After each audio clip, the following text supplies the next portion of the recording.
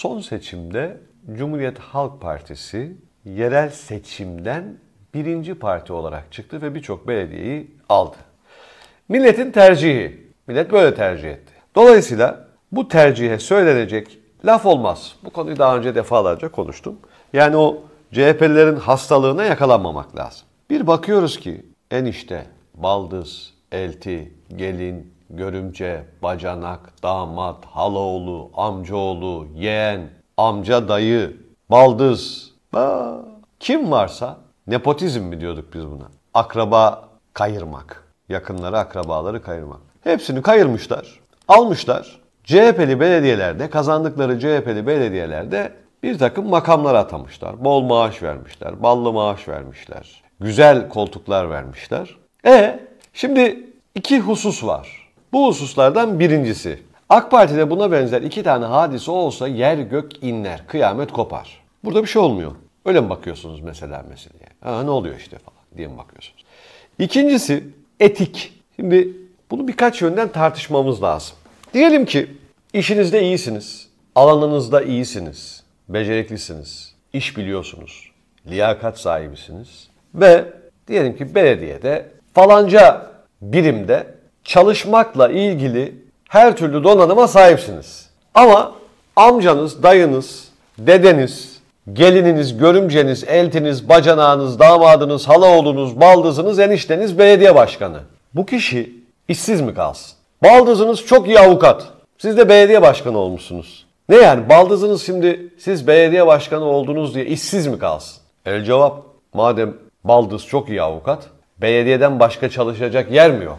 Belediyede çalışsın. Ya baldız belediyede çalışmak istemiş. Yani öyle bir fantazisi var yani. Tamam ben iyi bir avukatım ama okudum.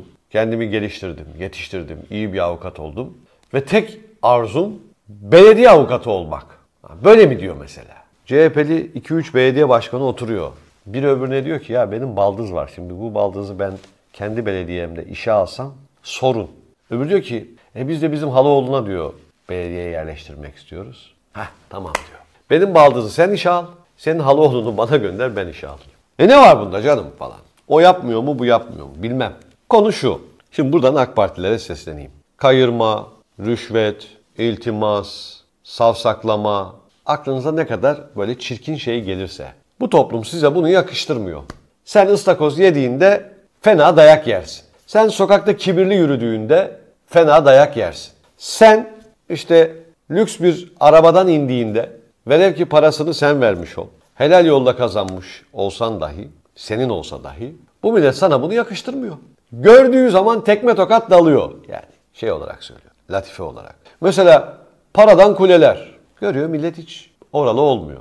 Istakozlar, kalkan balığı ciğerleri, şaraplar, bişon paraları, israf, işe alınanlar, işten çıkarılanlar, o bu, aklınıza ne kadar işte bu süreçte gördüğünüz ne kadar tuhaf iş varsa mesela CHP yapıyor. CHP yakıştırıyor ve ses çıkarmıyor. Buraya düğümlendi değil mi her şey? Buraya kilitlendi. Siz buna anlam veremiyorsunuz. Niye böyle oluyor? Şimdi ister A parti, ister B parti, ister C parti. Türkiye'nin bir sorunu var. Mesela parti dediğiniz şey şöyle bir şey olsa.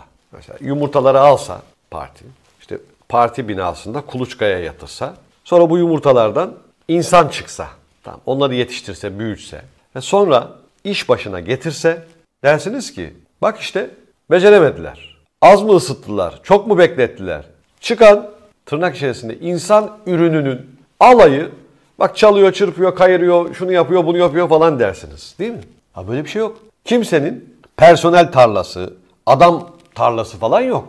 Toplumda Ahmet, Mehmet, Cevdet, Ayşe, Fatma, Hüsniye bunlar yahut bunların çocukları geliyor bir partide ya da o partinin organlarında, belediyesinde, şurasında, burasında, devlet mekanizmasında falan işe geliyor.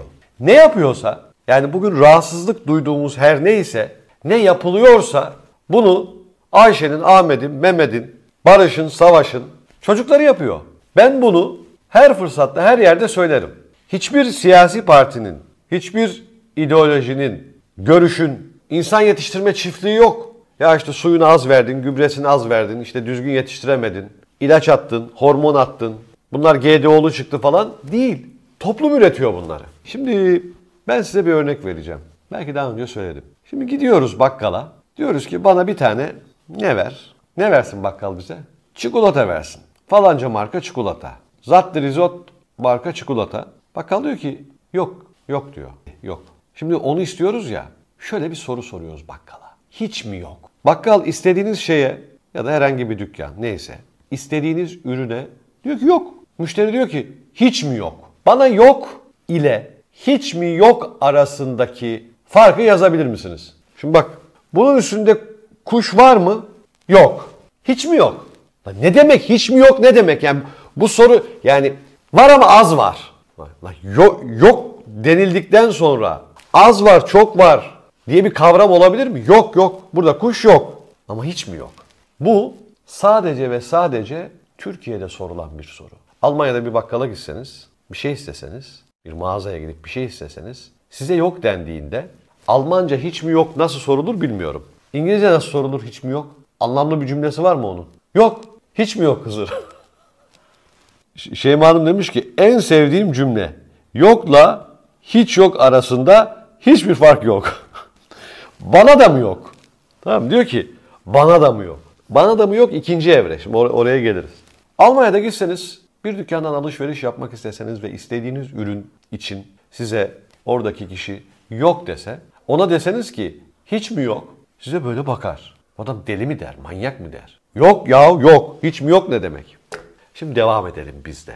Aklına gelse Cem Yılmaz bu bu replikleri kullanır yani. Buradan gider mesela stand-upçılar ya da her neyse. Hiç mi yok sorusundan sonra diyelim ki sigara istiyorsunuz. X mark. Sigara sağlığa zarardır. Yok diyor. Hiç mi yok? Bu soru geldikten sonra bakkal şey yapıyor. Ya orada bir tane kalmış diyor. Orada bir tane kalma ihtimali karşılığında sorulmuş bir sorudur bu. Hiç mi yok? Çünkü ya zam gelecektir, saklanmıştır. Ya o an üşeniyordur. Ya şudur ya budur. Tamam mı? Oradaki işte satıcı her kimse onun yok demesi müşteriyi ikna etmez. Müşteri o cevaba güvenmez. O yüzden sorar. Hiç mi yok diye bir soru. Sonra aa bir tane varmış olur. Verir. Yahut müşteri bilir ki bu zam gelecek falan diye tezgah altına indirmiş olabilir. Bana da mı yok diye devam eder. Dur ya sana bir tane vereyim der. Ha. Demek ki bu soru hiç mi yok sorusu bir ahlaksızlığın ürettiği soru. Stokçular şunlar bunlar geçmişe doğru gidin falan. Bu, bunlar var. E bu, bu toplumda yaşanıyor. Her yerde yaşanıyor. Yahut bir devlet dairesine gidiyorsunuz. Belediye, tapu, aklınıza ne gelirse yani. Genel manada söylüyorum. Ruhsat alacaksınız. Bir şey yapacaksınız. Size olmaz diyorlar. Olmaz. İşte bak şu eksik, bu eksik, bu da olmaz, şu da eksik falan. Olmaz cevabını alıyorsunuz. Dünyanın hiçbir yerinde sorulmayan bir soru yine bizde sorulur. Bir şey yapamaz mıyız? Ya da olmaz, hiç mi olmaz? olmaz abicim işte bak bunlar bunlar eksik. Ya tamam eksik anladım ama hiçbir şey yapamaz mıyız? Bir bakalım ona. Lan düdük. Hani şu eksik, şu eksik, şu eksik, şu da eksik, bu da eksik, o da eksikti. Bunlar tamamlanmadan hani olmazdı? Birinci bölüm bu. Şimdi bu arkadaş biliyor ki istenen her neyse bunları yerine getirmek zor. Yahut imkansız. Yahut masraflı. Şu şu şu her neyse. Hiç mi olmaz? Ha, oltaya geldin şimdi. Kim oltaya geldi? İkisi de. O bir olta attı, onu yakaladı. Bu bir olta attı, onu yakaladı. Belki olur. Bir şefime danışayım. Bir müdürümle bir görüşeyim. Ya da sen gitsen şuna söylesen, bir onunla bir konuşsan. Şimdi bir yere doğru gönderiyor seni. Ya orada şey değil ama işte. Şöyle olursa siz anladınız oraları.